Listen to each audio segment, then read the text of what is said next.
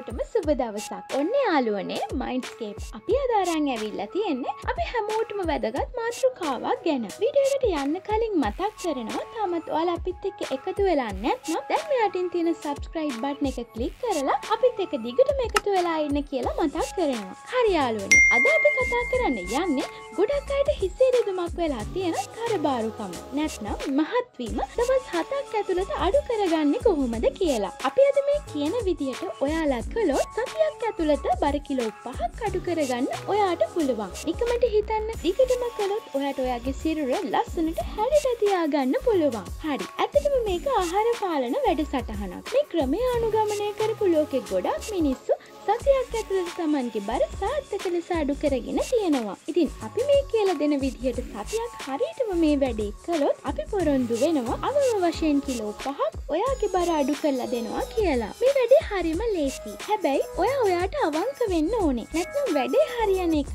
නෑ. ඉතින් වැඩේට යන්න කලින් ඔයා ඔයාගේ බර මැන ගන්න. එතකොට ඉන්න වට ප්‍රමාණයත් හරියටම වැන ගන්න. හරි. අදින් පස්සේ එක සතියක් ඔයා ඔයාගේ සුපුරුදු ආහාර රටාව අමතක කරන්න ඕනේ. එතකොට අපි මේ කියන ආහාර රටාව අනුගමනය කරන්නත් ඕනේ. අපි මේ කියන ආහාර රටාවට අමතරව වෙන කිසිම දෙයක් ඔයාට කන්නවත් බොන්නවත් බෑ. මේ වැඩේදී ඔයා ඔයාට අවංක වෙන තරමට ඔයාට හම්බෙන ප්‍රතිඵලත් ඔයාටම තමා. හරි. අපි පටන් ගමු. මේ සතිය හැම දවසකම ඔයා වතුර වීදුරු 10 බැගින් බොන්න ඕනේ. ඊට වැඩිය බිව්වට කමක් නෑ. හැබැයි ඉතින් ඊට අඩු වෙන්න නම් බෑ. එතකොට උදේට දවල්ට රැට කිරි, ප්ලේන් ටී, කෘත්‍රිමව සැකසූ පළතුරු විෂ හෝ වෙන කිසිම බීමක් ගන්න බෑ. පළවෙනි දවස. ඔයාට පළවෙනි දවසේම කන්න පුළුවන් පළතුරු විතරමයි. හැබැයි කෙසෙල් මේකෙදි තහනම්. කොමුද වගේ පළතුරක් වැඩිපුර කන්න පුළුවන් නම් ගොඩක් හොඳයි. තමන්ට කැමති තරමක් කන්න පුළුවන්. ප්‍රධාන වේල් තුනටම කෑවත් කමක් නෑ.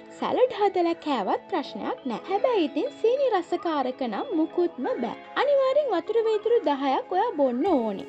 වෙන කිසිම දෙයක් ඔයාට බොන්න බෑ. අඩුම ගානේ කෘතිම කානවර්ග සම්පූර්ණයෙන්ම තහනම්. හරි දැන් බලමු දෙවැනි දවස. දෙවැනි දවසේ එලවලු. හැබැයි අල බතල බීටරුට් තහනම්. මුළු දවසම ඔයාට කන්න පුළුවන් එලවලු විතරමයි. ඔයාට අවශ්‍ය නම් උදේට එකම එක අල ගෙඩියක් එකතු කරගත්තට කමක් නෑ. විශේෂයෙන් මේකෙදි එලවලු තම්බලා හරි නැත්නම් සුප් එකක් හදලා හරි ගත්තට ප්‍රශ්නයක් නෑ. දැන් ඔයාට මතකයිනේ කලින් කිව්වා වගේ වතුර වීදුරු 10ක් නම් අනිවාර්යෙන් බොන්න ඕනේ. තුන්වෙනි දවස.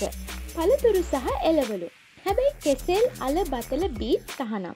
තුන්වෙනි දවසේදී අපිට එළවලු පළතුරු කියන දෙවර්ගේම ඕන තරමක් කන්න පුළුවන්. හැබැයි අර තහනම් කරපුව ඇර. ඊට අමතරව අපි අර කලින් දවස් දෙකේ කළා වගේම වතුර වීදුරු 10 අනිවාර්යෙන් බොන්න ඕනේ. හතරවෙනි දවස. කෙසෙල් සහ කිරි. අපි දැන් කතා කරන්න යන්නේ හතරවෙනි දවස ගැන. ඊට කලින් කියන්න ඕනේ අපි ඔය කියපු විදිහටම වැඩේ කළා නම් මේ වෙද්දි ඔයා හොඳ ශක්තිමත් කෙනෙක් බව. මොකද ගොඩක් අය කැමවලට තියෙන කෑදරකම නිසා පළවෙනි දවස් දෙක තුනේම මේක අතඇරලා දානවා. ඔයා මේ දවස් ටික ශක්තිමත්ව ආවා කියන්නේ ඉතුරු දවස් හතරත් ඔයාට සාර්ථක කරගන්න පුළුවන් කියන එකයි. හරි. හතරවෙනි දවසේ උදේට ඔයා කිරිවීදුරුවකුයි කෙසෙල් ගෙඩි දෙකකුයි කන්න ඕනේ. ඒ සඳහා ඕනම කෙසෙල් වර්ගයක් ඔයාට කන්න පුළුවන්. දවල්ටත් කිරිවීදුරුවයි කෙසෙල් ගෙඩි දෙකයි. එතකොට රැටත් කිරිවීදුරුවයි කෙසෙල් ගෙඩි දෙකයි. මේ කෑමවේල් අතර ඕන නම් කෙසෙල් ගෙඩිය ගානේ කෑවට කමක් නෑ. එතකොට උපරිම කෙසෙල් ගෙඩි 8යි දවසටම කන්න පුළුවන්. හැබැයි වතුර වීදුරු 10 අනිවාර්යෙන් බොන්න ඕනේ. හරි. දැන් පස්වෙනි දවස. මස් මාළු හෝ සෝයා මීට් සමග තක්කාලි. දවසටම පුළුවන් මස් හෝ මාළු විතරයි. මාළු නම් ඕන එකක් කන්න පුළුවන්. හැබැයි මස් ගන්නවා නම් තෙල් අඩු කුකුල් මස් වගේ දෙයක් ගන්නවා නම් හොඳයි. මස් මාළු නොකන අයට සොයා මීට් වගේ දෙයක් වඩා හොඳයි. මේවා කැමති විදිහකට හදලා ගත්තට කමක් නෑ. හැබැයි මේවත් එක්ක ඔයා දවසට තක්කාලි ගෙඩි පහක් අනිවාර්යෙන් කන්න ඕනේ. ඒ වගේම වතුර වීදුරු 10ක් අමතක කරන්නම එපා. මේ වෙනකොට ඔයාගේ ඇඟේ තියෙන තෙල් බිඳ වැටිලා තියෙන්නේ. බිඳ වැටිලා තියෙන තෙල් ඇඟෙන් ඉවත් වෙන්න අවශ්‍ය ප්‍රමාණයට වතුර බොන්න ඔයාට පුළුවන් නම් ගොඩක් හොඳයි. 6 වෙනි දවස එලවලු සහ මස්. මේ දවසේදී කැමටි එලවලු සහ මස් භාවිතා කරන්න පුළුවන්. ඒ වගේම වතුර වීදුරු දහයක් ඔය අනිවාරය බොන්න ඕනේ. දැන් හත්වෙනි දවස. රතු නිවුඩු හා ලෙබ්බත් එලවලු හා පලතුරු ඔන්න අද තමයි දවස් හයකට පස්සේ ඔය බත් ටිකක් කන්න හදන්නේ. ඔය වෙනද කන විදිහටම සාමාන්‍ය වේල්ස් වුණත් ඔයාට කන්න පුළුවන්. හැබැයි ගන්න පුළුවන් නිවුඩු හාලෙබත් එලවලු හා පළතුරු විතරමයි. ඒ වගේම